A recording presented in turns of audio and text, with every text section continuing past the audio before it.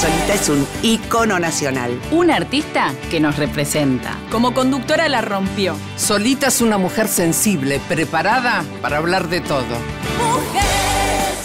Muy pronto, por el 13.